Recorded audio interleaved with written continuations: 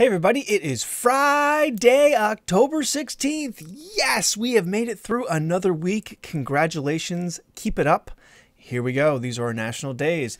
It is dictionary day. So, whether we're talking about those books, the big books from when I was a kid uh, that used to have to go through and flip through the pages to find the definition, uh, or you're just jumping online and finding the definition now, we're celebrating the fact that we have the ability to do that. It's also Sports Day, so uh, we're just celebrating all sports, regardless of whether it's a, a real activity or something that you just created on your own. But uh, Sports Day, and regardless of whether you're playing in the in the sport, you're watching the sport, you're coaching the sport, um, all aspects of it. Great that we have them and uh, excited that we finally have most of them back now. Uh, it is Department Store Day.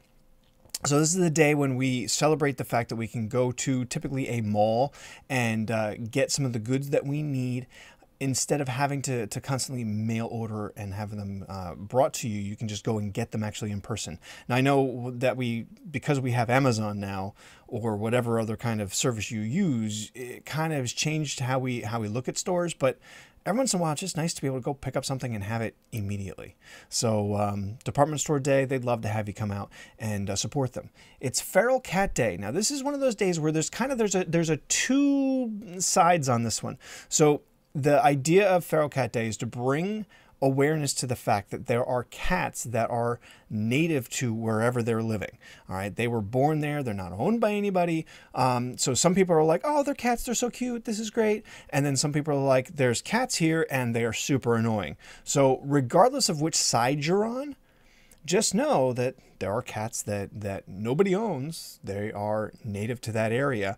And uh, that's what this day is all about, is bringing the awareness to that. So whether or not they, you can um, help people out and grab, you know, not necessarily grab cats, but, but uh, you can um, help catch the cats and, and get them to a, uh, an adoption place.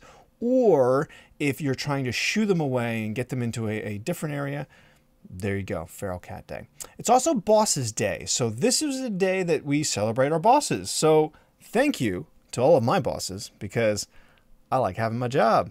And you're all really nice people.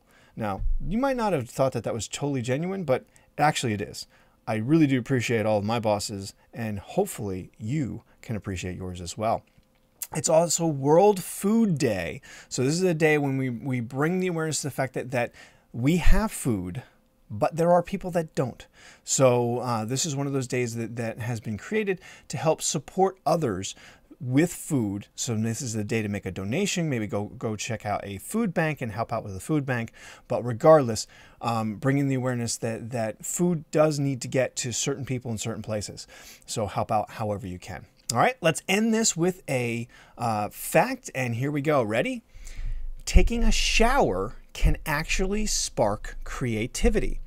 Now, this one I was like, eh, all right, maybe it could be. Uh, so, taking a shower isn't just something that's good for for you and for maybe the people you're around, so maybe you'll smell better, but it's also good for creativity. In 2012, they did a study um, in psychology science, and the researchers found that when they gave people a creative problem to solve, um, people that went and did um, that went and did what did they call it?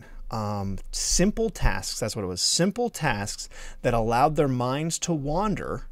They solved those creative problems better than people who were who you know just just sat and, and worked worked worked worked worked so letting your mind kind of wander on things would help helps with that and taking a shower is one of those things.